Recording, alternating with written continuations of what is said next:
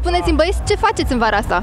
Tot eu cântăm, cântăm. Asta facem noi de obicei și Nu, nu, nu, că am văzut filmulețele respective, deci faceți mai mult vara asta. Uh, Ne-am urcat în copaci și am făcut baie în piscină, în mare, ne-am răstogolit pe iarbă, am admirat soarele, ne-am urcat pe poduri, ne-a uh, plouat, ne-am uitat la ploaie, am fost ne-am jucat cu la rațele, ce mai O făcut? să mai fie chestii, nu știu.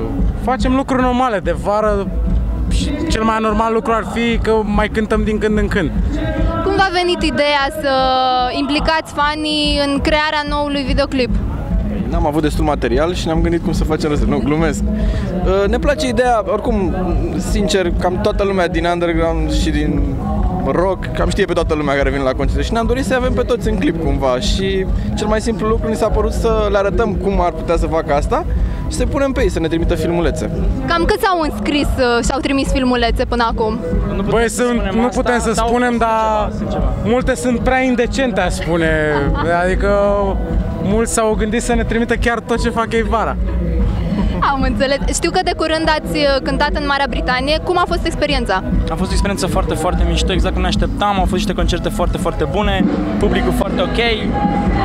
Ce v-a plăcut cel mai mult acolo? Uh, Ne-a plăcut în primul rând concertele, de seama că am și vizitat un pic, ne-a plăcut foarte mult în Scoția, la Edinburgh. Ne-au plăcut foarte mult scoțienii, oameni foarte, foarte de treabă.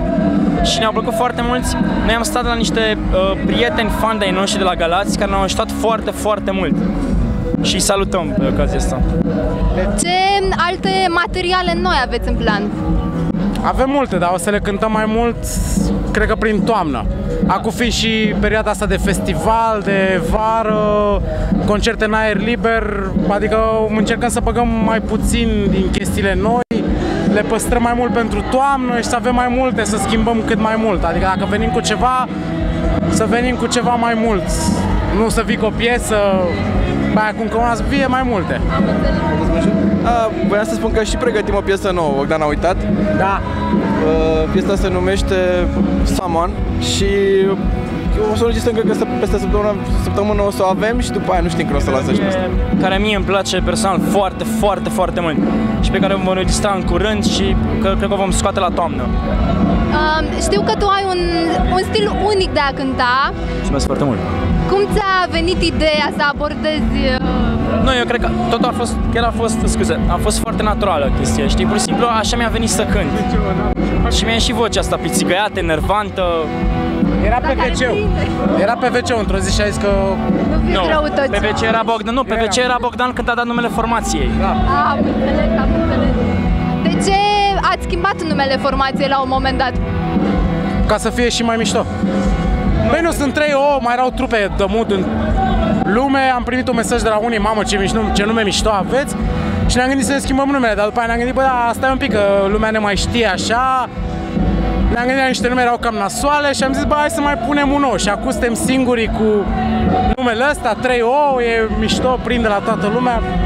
Uh, spuneți-mi, ce mai e nou acum în underground? Mircea, vorbești și tu? Ce mai e nou în underground? Ce mai este nou în underground? Păi nu știu, toată lumea. Deocamdată. Nu știu. Care uh, sunt noile trenduri față de uh, anul în care v-ați lansat voi în underground, practic? Adică cum sunt acum trupele noi comparativ cu voi? Da, sunt ceva mai colorate, probabil mai modernizate așa puțin. Uh, sunt oricum uh, formații care cântă de destulă vreme.